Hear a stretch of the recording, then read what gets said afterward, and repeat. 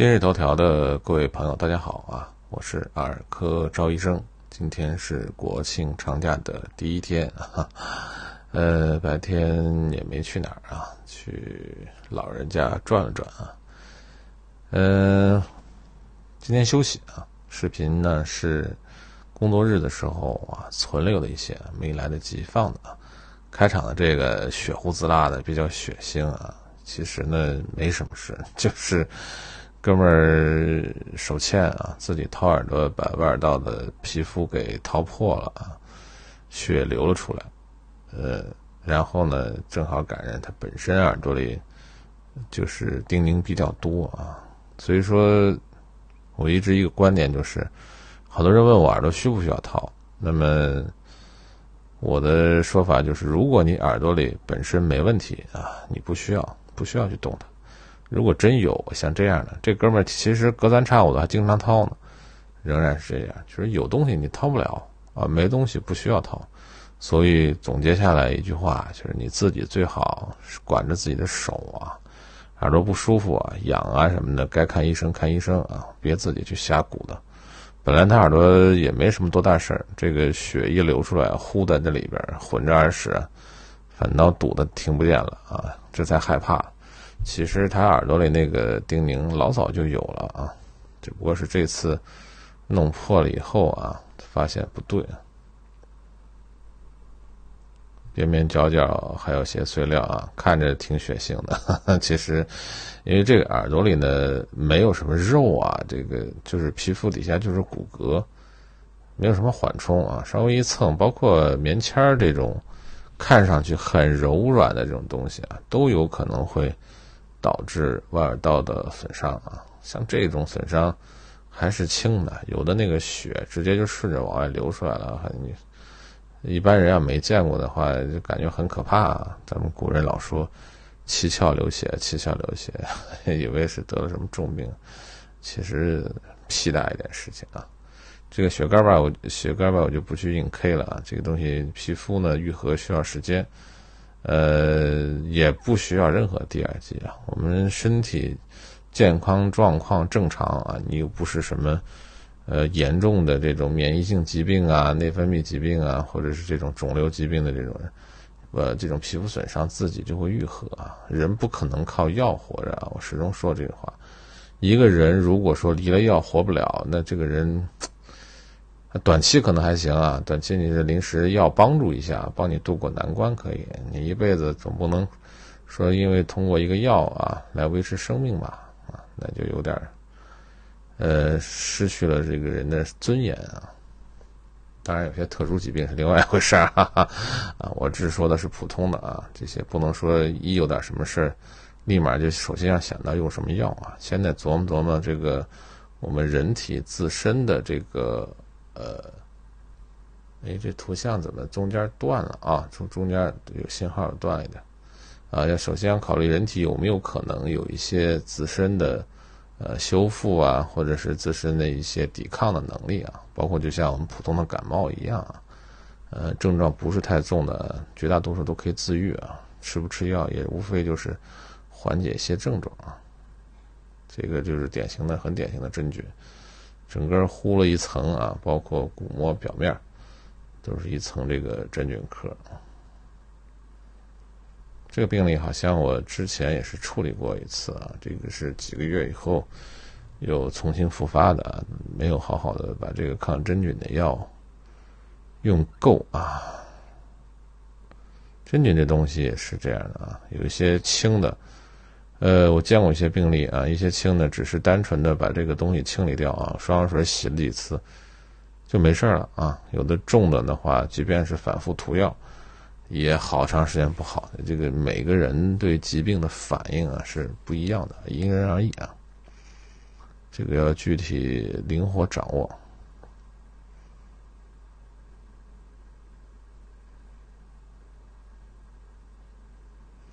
鼓膜表面有些碎渣子啊，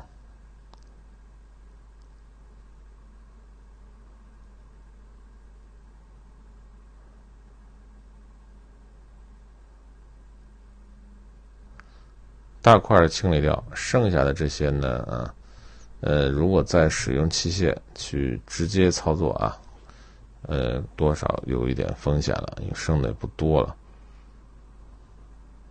这是在鼓膜的面上啊，这也就是有耳内镜啊，没耳内镜可不敢这样做啊，太危险了，直接就容易把鼓膜给捅漏了。那么还是老规矩啊，双双氧水泡一泡，就像这个啊可乐一样的。啊，应该是说像雪碧一样，可乐是。可乐是这个有色的，这个是没色白的啊。泡一泡这个干片呢，啊，稍微粘一点，能吸得动，否则这个干块干的这种片呢，拿吸气直接是做不出来的。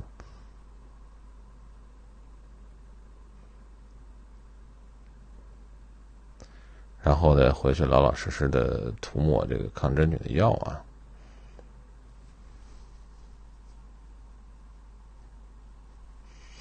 真菌这种很常见啊，这个有的人对它很紧张，有的人就无所谓，大大咧咧的。嗯，有的人一听说这耳朵里真菌，就觉都睡不着了；有的人就觉得无所谓，反正无就是有点痒痒，也没多大的影响啊。这个人呢，对对这个事儿的反应真是千差万别啊。呃。这个呢也是一个真菌，但它比较特别啊，它是一个做完耳内镜手术啊。其实刚才如果有的朋友要是眼贼一点，已经看到它的鼓膜上有个小的孔，这个是一个之前是一个鼓膜穿孔的病例啊。后来在呃他看的时候是在我这看的，但是因为这个费用的问题啊，在我他在我这做的话，费用没办法报。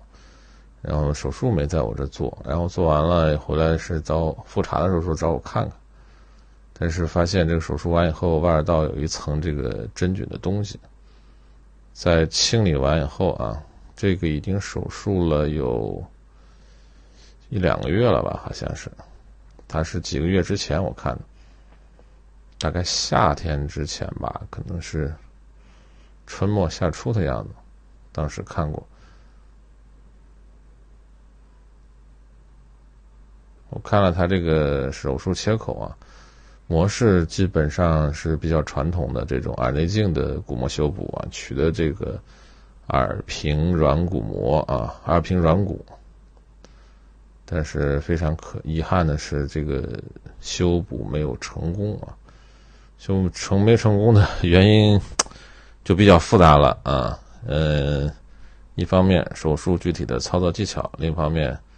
也是个体的因素啊，移植上去的东西，有的时候真是不好说啊。我也碰到过，以前有有过这种案例，贴上去的东西没有完全愈合好。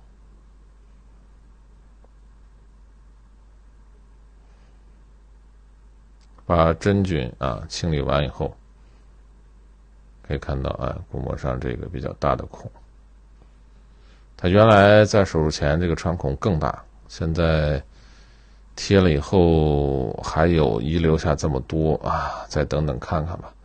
因为手术的话，对骨膜是一个呃形成一个新鲜的创面呃，理论上来说，这个穿孔还有缩小甚至完全愈合的可能啊，只是说这个理论。那么近期就得观察一段啊，然后外耳道呢用一些抗真菌的药物涂抹一下啊，先把这个真菌控制住。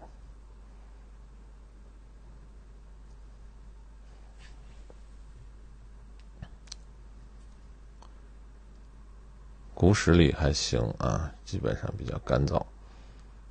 啊，这种是一个在做骨膜修补术后出现的真菌感染啊。最后一个呢是一个干性的真菌片啊。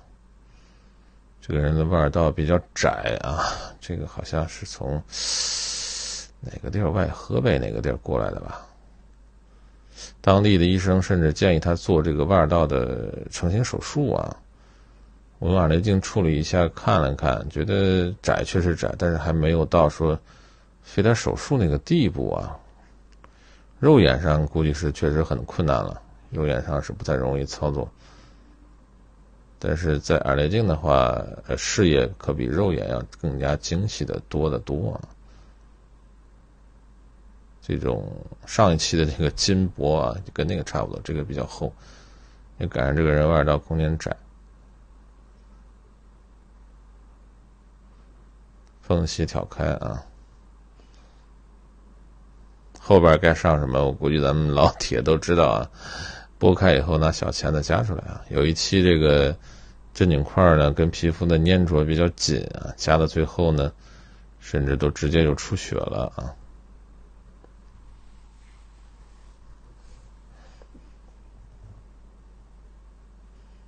所以这个尽量的呃分离到贴近鼓膜，甚至是说。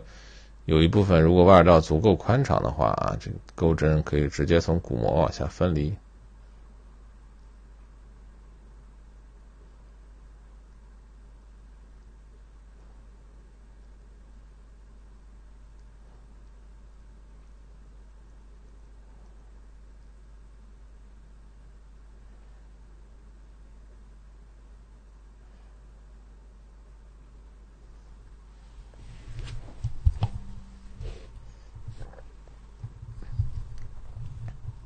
剥离到一定程度啊，该换小钳子了吧？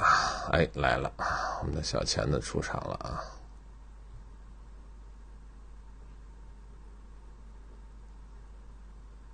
这种后期也得用药啊，抗真菌的药，